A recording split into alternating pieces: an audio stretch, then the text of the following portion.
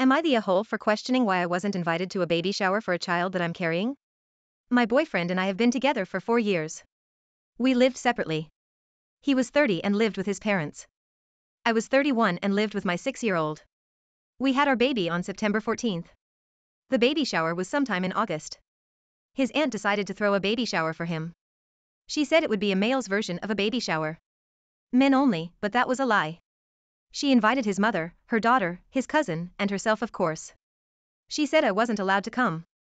If it were men only baby shower, then why were those women there? Also, that would only make sense if it were a bachelor party. I was carrying the baby and I wasn't allowed to be there. All my boyfriend said to me that it was out of his control I feel like he should have stood up for me and said that it didn't sound fair, that it should be a baby shower for the both of us. Every baby shower I had been to always had both parents. Also, I didn't feel like he deserved a party looking like he's father of the year, because he didn't even show up to many of my baby appointments except for two of them. One being when we found out the gender. It was on my birthday, but he had to leave shortly after the appointment, because he was spending the day with his mom. On my birthday. Also, they lived together. Another appointment he came to was a three hour glucose test, but he spent half that appointment on the phone with his mother. Also, he wasn't there much for me during the pregnancy when I was throwing up or needed help lifting something. I had to do it mostly by myself. Again, we are together. Maybe this would make sense if we weren't together.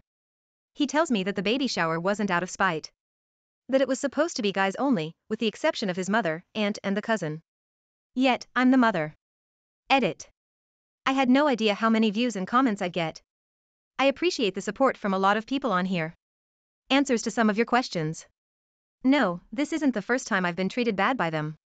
This time just happened to really bother me, because it did make me feel like they were doing this to take my baby away from me.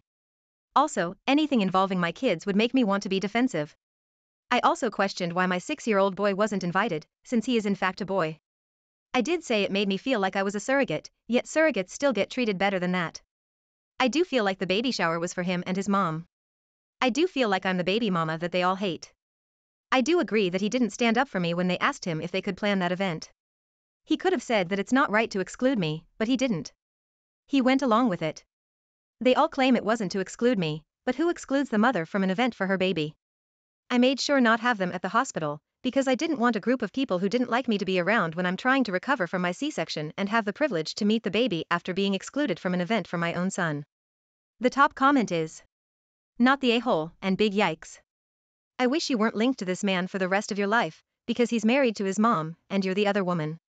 The second comment is I am so sorry to tell you, but you are not together. He is with his mom and you are with your kids, except when it is convenient for him to be with your kid. Not the a-hole. The third comment is How many ways must this man tell you you are his absolute lowest priority until you get the message and leave him? Never make a man tell you he doesn't want you more than once and he's been screaming at you at least 100 times. Not the a-hole.